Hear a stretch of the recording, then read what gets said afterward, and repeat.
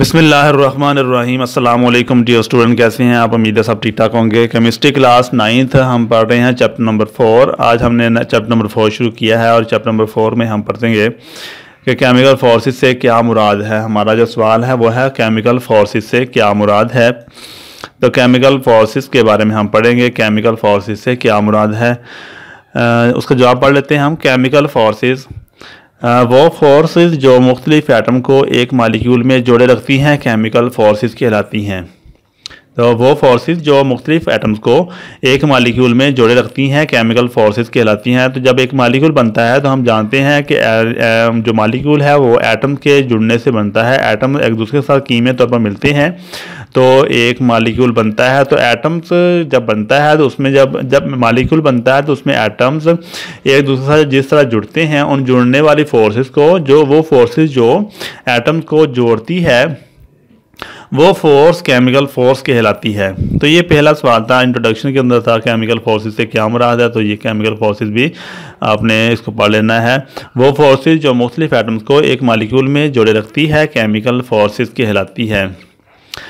सवाल है हमारा यहाँ पे डुप्लेट रूल से क्या मुराद है डुप्लेट रूल तो वैलेंस शेल में दो इलेक्ट्रॉन हासिल करने को डुप्लेट रूल कहते हैं। वैलेंस शेल में दो इलेक्ट्रॉन हासिल करने को डुप्लेट रूल कहते हैं। इस तरह सवाल है कि ऑक्टेट रूल से क्या मुराद है? ऑक्टेट रूल ऑक्टेट रूल है इसका जवाब। वैलेंस शेल में आठ इलेक्ट्रॉन हासिल करने को ऑक्टेट रूल कहा जाता है।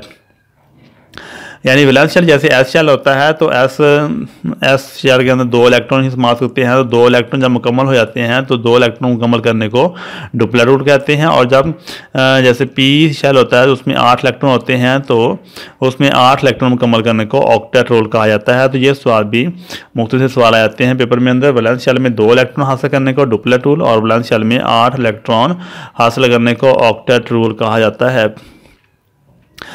अब सवाल हमारा ये है कि नोबल गैसेस नॉन रिएक्टिव क्यों होती हैं? नोबल गैसेस नॉन रिएक्टिव क्यों होती हैं? तो उसका जवाब हम बढ़ते हैं। नोबल गैसेस के वैलेंस शेल में दो या आठ इलेक्ट्रॉन ही होते हैं। इसका मतलब है कि तमाम नोबल गैसेस के वैलेंस शेल मुकम्मल होते हैं।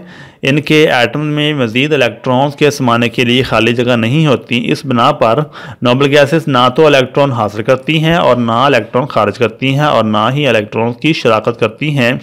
इसलिए नॉन रिएक्टिव होती हैं।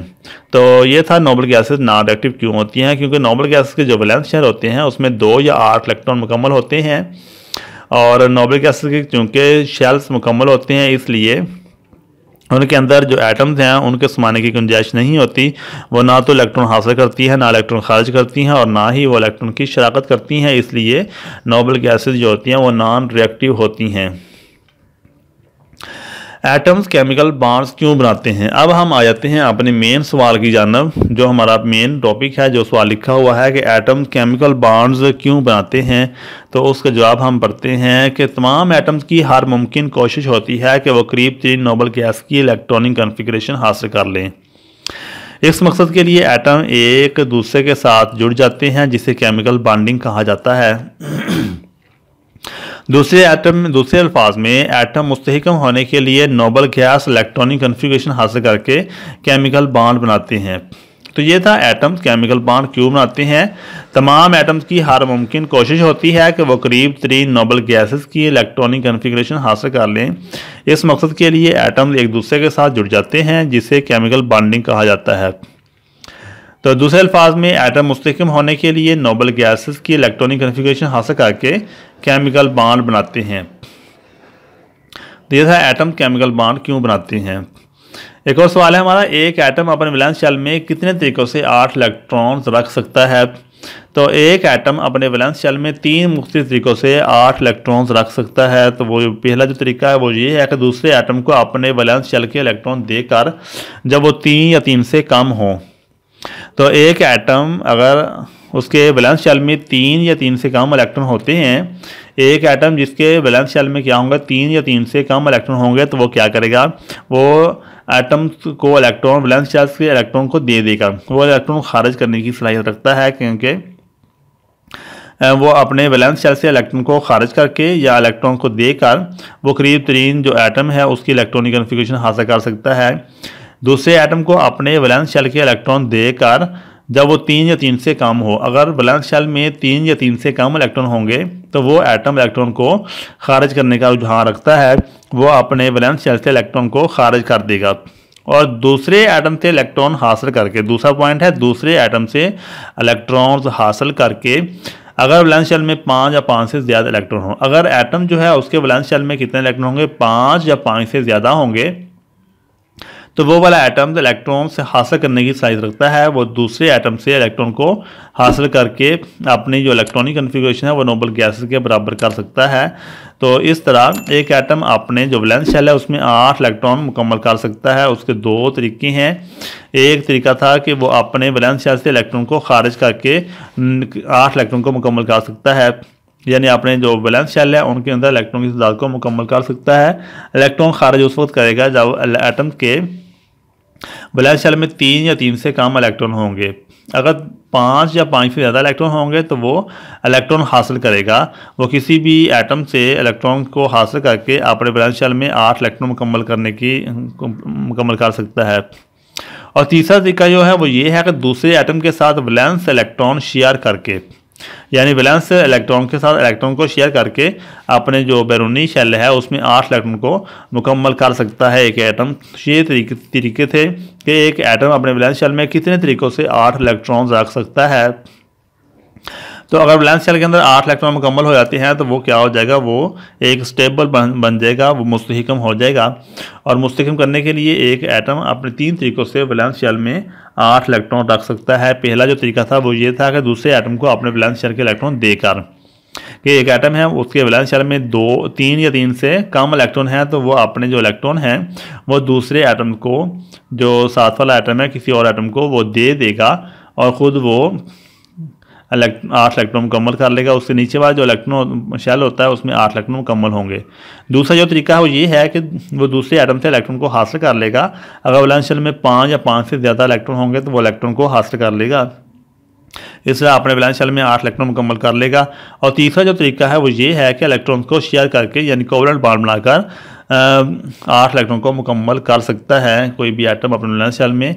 तो ये था एक एटम अपने बैलेंस शेल में कितने तरीक़ों से आठ इलेक्ट्रॉन रख सकता है। अब हमें कैसे पता चल सकता है कि कोई एटम है उसके बैलेंस शेल में कितने इलेक्ट्रॉन है? तो उसके लिए परियारिक ग्रुप परियारिक टेबल है हमारे पास। परियारिक टेबल के अंदर जो ग्रुप नंबर होता है, वो ग्रुप नंबर ये ज़ाहिर करता है कि जो एटम है, उसके बैलेंस शेल में कितने इलेक्ट्रॉन हैं। प्यार टेबल के अंदर हम कैसे पता चला सकते हैं कि किस तरह से किसी आइटम के वैलेंस शेल में कितने इलेक्ट्रॉन हैं? तो उसके लिए हम ग्रुप नंबर को देखते हैं। जैसे ये ग्रुप नंबर वन है तो ग्रुप नंबर वन के जो एलिमेंट हैं, इनके जो वैलेंस शेल हैं, उनमें जो जो वैलेंस शेल है, उसमें जो इलेक्ट्रॉन की तादाद है, वो एक है। सबसे बैरूनी जो शेल है, उसमें इलेक्ट्रॉन की तादाद कितनी है? एक है। तो ग्रुप नंबर इसका ग्रुप नंबर टू है। ग्रुप नंबर टू के जो एलिमेंट्स हैं, उनके जो वैलेंस शेल में जो इलेक्ट्रॉन है, उनकी तादाद दो है। इसा ग्रुप नंबर थ्री में जो एलिमेंट हैं, उनके जो वैलेंस शेल में इलेक्ट्रॉन की तादाद है, वो तीन है।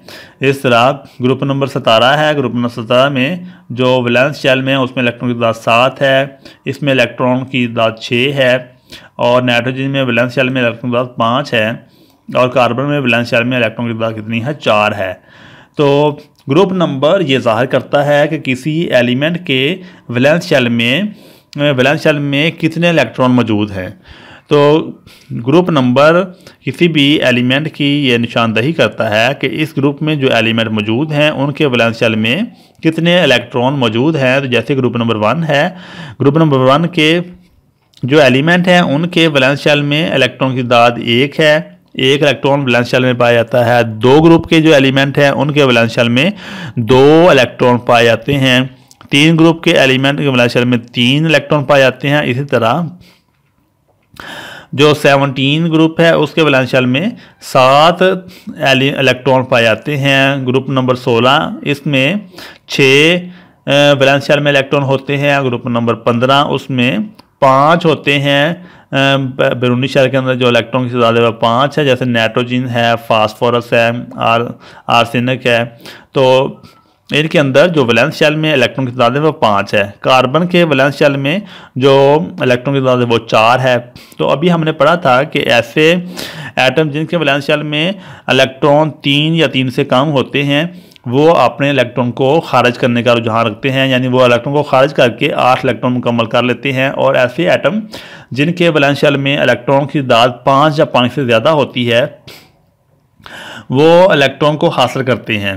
यानी नाइट्रोजन जो है, ये भी इलेक्ट्रॉन को हासिल करेगा। इसके शेल में पाँच इलेक्ट्रॉन है तो ये पाँच इलेक्ट्रॉन और, ये इलेक्ट्रॉन तीन इलेक्ट्रॉन हासिल करेगा। और ऑक्सीजन जो है, इसके वैलेंस शेल में ये छः इलेक्ट्रॉन्स हैं बैलेंस शेल में छः इलेक्ट्रॉन है तो इसको दो इलेक्ट्रॉन की ज़रूरत है, ये दो इलेक्ट्रॉन हासिल करके आठ इलेक्ट्रॉन मुकम्मल कर लेगा। इसी तरह जो फ्लोरीन है फ्लोरीन के जो वैलेंस शेल है, उसमें सात इलेक्ट्रॉन हैं तो इसको अपने आठ इलेक्ट्रॉन मुकम्मल करने के लिए एक इलेक्ट्रॉन दरकार है तो वो एक इलेक्ट्रॉन हासिल कर लेगा। पाँच या पाँच से ज़्यादा जिनके वैलेंस शेल में इलेक्ट्रॉन होते हैं, वो इलेक्ट्रॉन को हासिल करके आठ इलेक्ट्रॉन मुकम्मल करते हैं। तीन या तीन से कम इलेक्ट्रॉन जिनके वैलेंस शेल में होते हैं, वो इलेक्ट्रॉन को खारिज करके आठ इलेक्ट्रॉन मुकम्मल करते हैं। तो ये था प्रयार टेबल के अंदर किस तरह पता चलता है कि किसी एलिमेंट के अंदर वैलेंस शेल में इलेक्ट्रॉन की तादाद कितनी है तो वो ग्रुप नंबर से बताया जा सकता है कि वैलेंस शेल में इलेक्ट्रॉन की तादाद कितनी है। हमें किस तरह पता चल सकता है कि कोई आइटम किस तरह से रिएक्ट करेगा? हमें किस तरह पता चल, चल, चल सकता है कोई एटम किस तरह रिएक्ट करेगा? तो उसका जवाब बढ़ते हैं परियालिक टेबल में किसी एटम की पोजीशन से उसके ग्रुप नंबर की निशानदही होती है। प्यार टेबल में किसी एटम की पोजीशन से उसके ग्रुप नंबर की निशानदही होती है। ग्रुप नंबर वैलेंस शेल में मौजूद इलेक्ट्रॉन्स की तादाद की बुनियाद पर दिया जाता है।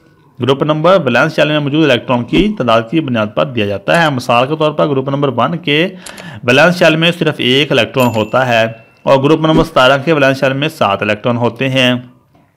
तो किसी एटम के रिएक्शन के तरीकाकार का इसार उसके वैलेंस शेल में मौजूद इलेक्ट्रॉन की तादाद पर होता है।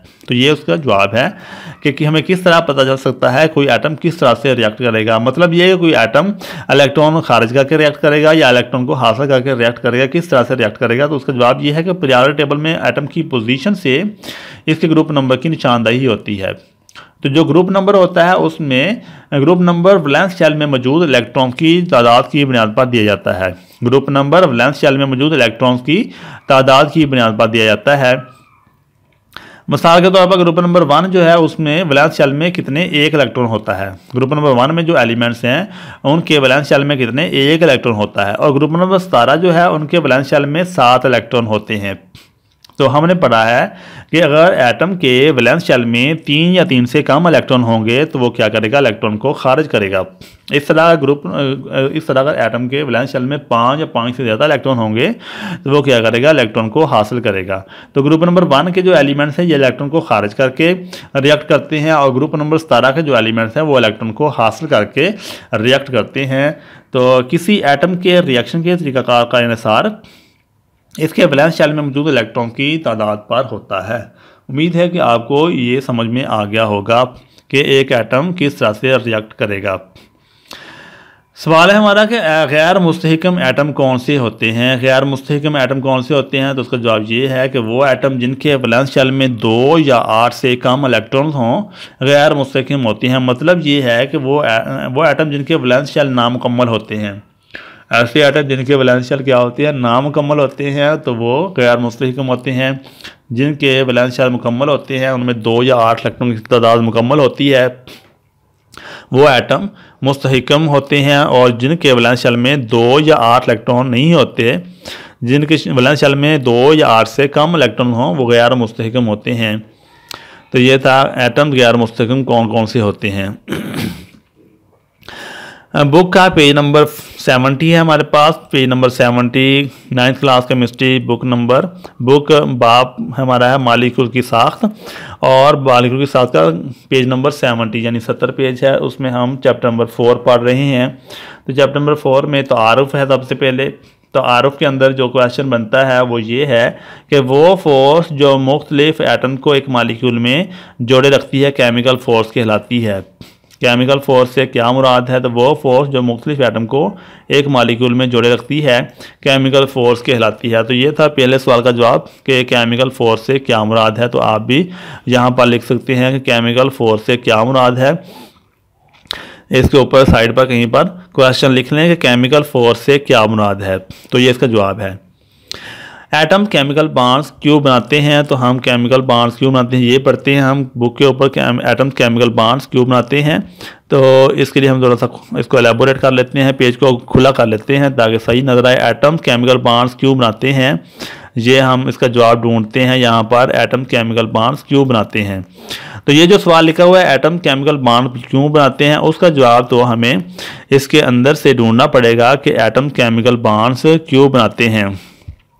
तो यहाँ पर लिखा है एटम एक दूसरे के साथ जुड़ जाते हैं, जिसे केमिकल बॉन्डिंग कहा जाता है।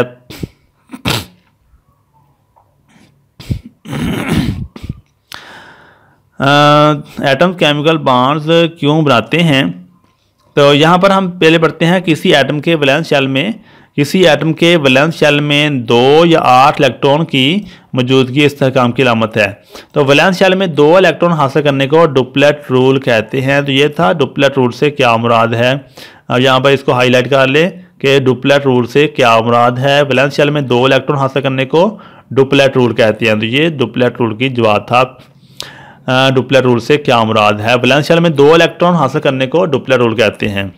इस तरह ऑक्टेट रूल से क्या मुराद है? वैलेंस शेल में आठ इलेक्ट्रॉन मुकम्मल करने को इलेक्ट्रॉन हासिल करने को ऑक्टेट रोल कहा जाता है। तो ये था ऑक्टेट रोल से क्या मुराद है? इनको आपने हाईलाइट कर लेना है। इसके ऊपर आपने छोटी सी बाल पेन के साथ या लेड पेंसिल के साथ आप इसके ऊपर क्वेश्चन लिख लें। ऑक्टेट रोल से क्या मुराद है? तो ये इसका जवाब है ऑक्टेट रूल से क्या मुराद है? अब हमारा सवाल है कि नोबल गैसेस नॉन रिएक्टिव क्यों होती हैं? नोबल गैसेस रिएक्शन क्यों नहीं करती? तो उसका जवाब हम पढ़ते हैं, नोबल गैसेस नॉन रिएक्टिव क्यों होती हैं? नोबल गैसेस नॉन रिएक्टिव क्यों होती हैं? ये हमारा सवाल है तो यहाँ पर आप लिख लें, नोबल गैसेस के ऊपर लिख लें तो ये हो जाएगा क्वेश्चन बन जाएगा हमारा नोबल गैसेस नॉन रिएक्टिव क्यों होती हैं? तो यहाँ से पढ़ते हैं, नोबल गैसेस के वैलेंस शेल में दो या आठ इलेक्ट्रॉन ही होते हैं। इसका मतलब है कि तमाम नोबल गैसेस के वैलेंस शेल मुकम्मल होते हैं। इनके आइटम में मजीद इलेक्ट्रॉन के समाने के लिए खाली जगह नहीं होती। इस बना पर नोबल गैसेस ना तो इलेक्ट्रॉन हासिल करती हैं और ना इलेक्ट्रॉन खारिज करती हैं और ना ही इनके इलेक्ट्रॉन की शराकत करती हैं, इसलिए ना रिएक्टिव होती हैं। तो ये सवाल काफ़ी मशहूर है। इस दफ़ा पेपर में ये आया हुआ था नोबल गैसेस ना रिएक्टिव क्यों होती हैं? ये बहुत ही मशहूर सवाल है। तो इसको आपने यहाँ पर लिख लें। यहाँ पर लिख सकते हैं आपको नोबल गैसेज ना रिएक्टिव क्यों होती हैं? तो ये इसका जवाब है, नोबल गैसेज के वैलेंस में दो या आठ इलेक्ट्रॉन ही होते हैं। इसका मतलब ये है कि तमाम नोबल गैस के वैलेंस शेल मुकम्मल होते हैं और इनके एटम में मजीद इलेक्ट्रॉन के समाने के लिए खाली जगह नहीं होती। इस बिना पर नोबल गैसेस ना तो इलेक्ट्रॉन हासिल करती हैं, ना इलेक्ट्रॉन खारिज करती हैं, और ना ही इलेक्ट्रॉन की शराकत करती हैं, इसलिए नोबल गैसेज जो हैं वो नॉन रिएक्टिव होती हैं। तो अब हम पढ़ते हैं क्वेश्चन हमारा था एटम केमिकल बांड्स क्यों बनाते हैं?